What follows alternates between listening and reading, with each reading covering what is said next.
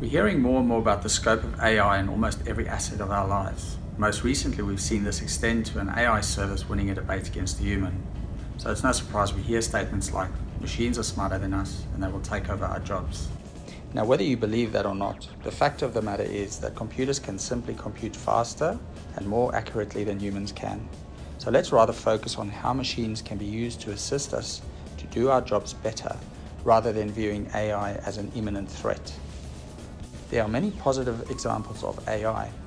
Let's have a look at such an example. A solution recently developed by our Exposé team shows how AI can assist in occupational health and safety in the hospitality industry. It uses object detection, face detection and recognition, message services, and video and data stream processing. Our CCTV footage shows our chef entering the kitchen wearing the required gear, including his kitchen hat. The chef is recognized as Jake against our staff database, and his kitchen hat is detected as a required object. Jake enters the kitchen again, this time without his required kitchen hat. The solution again recognizes him, but this time detects no kitchen hat, which invokes an alert to the mobile of his manager, Cameron. Here, Cameron receives an SMS notifying him that yep. Jake is not wearing the required gear.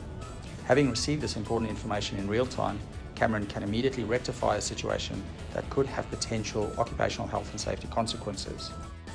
Not only does it enable the correct action to be taken in a timely manner, it has allowed Cameron to focus on his other managerial duties instead of relying on being there to perform a check in situ. Through this Exposé developed solution, we can begin to see how AI can work with us, and rather than being perceived as something to fear, it can be embraced as a valuable enabler.